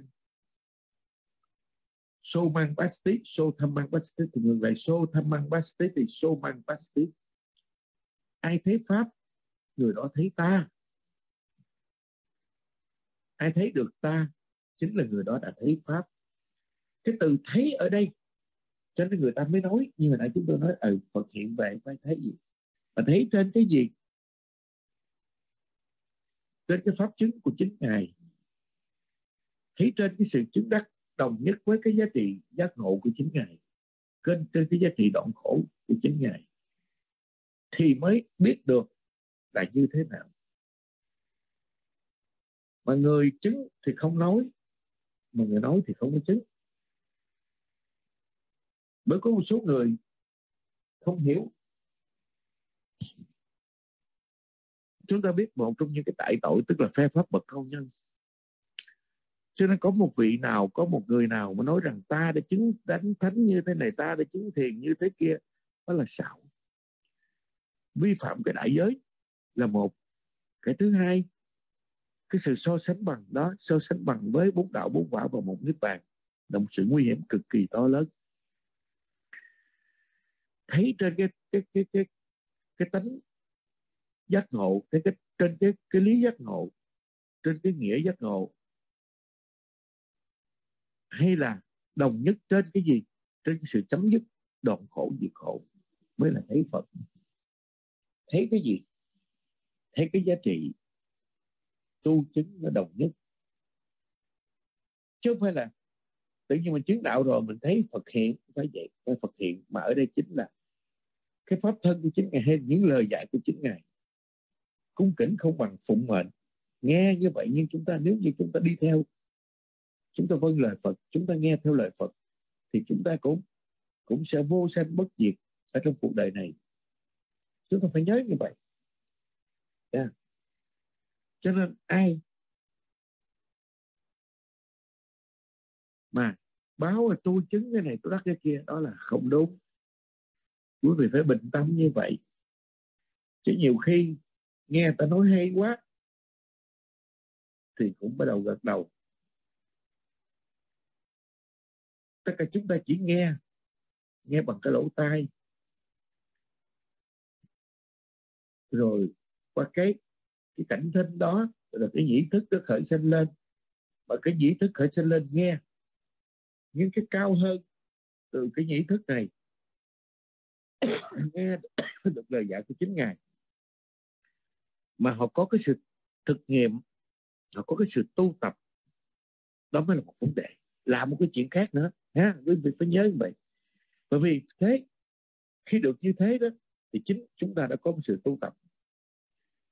Thành tựu viên mãn. Chứ còn nếu như mà mà à, tu rồi mà, mà vừa tu mà vừa khoe vừa tu mà vừa nói à, tôi tu như thế này tôi chứng như thế kia thì đây là một vấn đề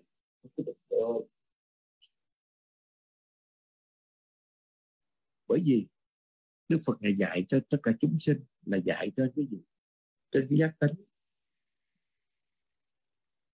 à, rồi, do nói hay, do là một cái vị pháp sư được lợi khẩu, là một vị thiền sư à, được hữu duyên nhiều. Cái, người ta đưa mình lên mây, cái mình tưởng mình là ông thánh, ông thần. Kính thưa quý đó là đại tội đó. Được không?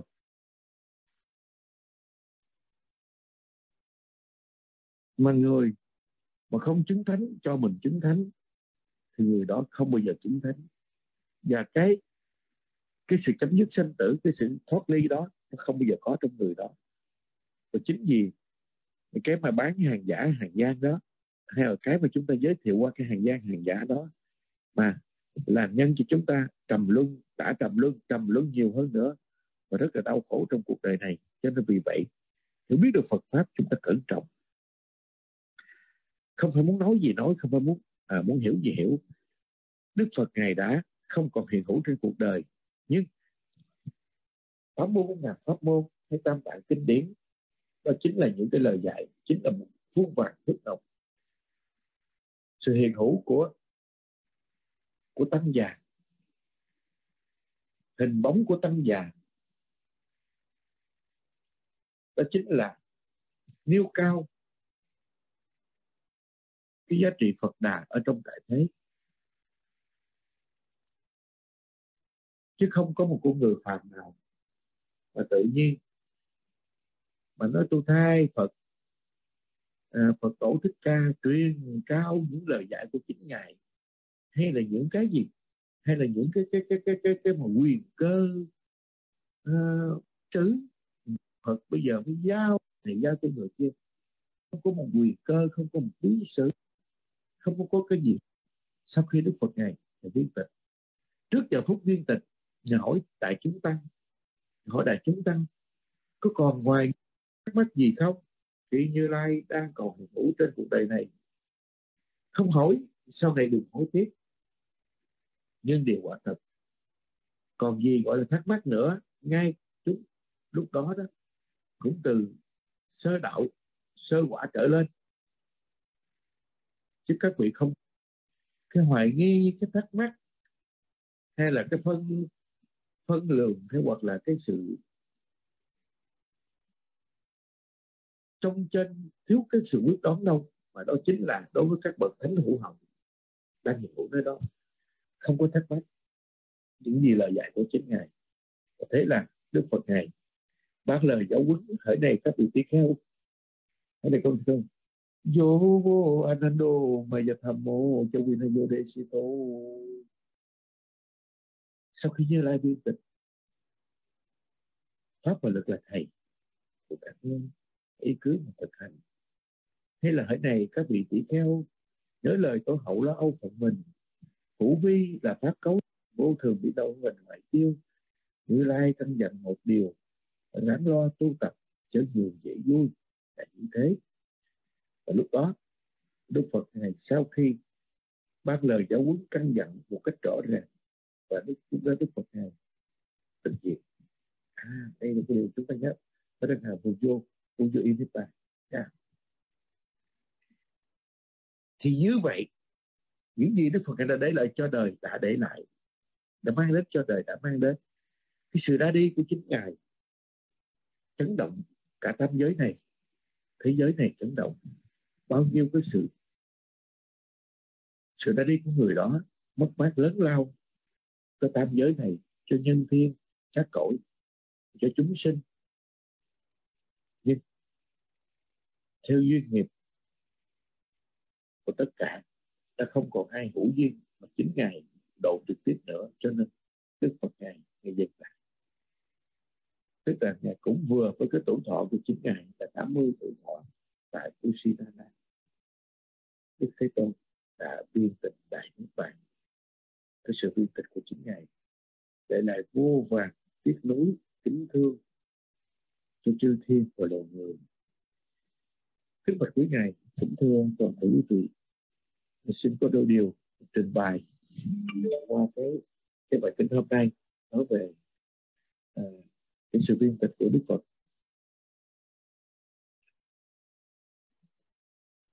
Nếu có điều chi sơ thất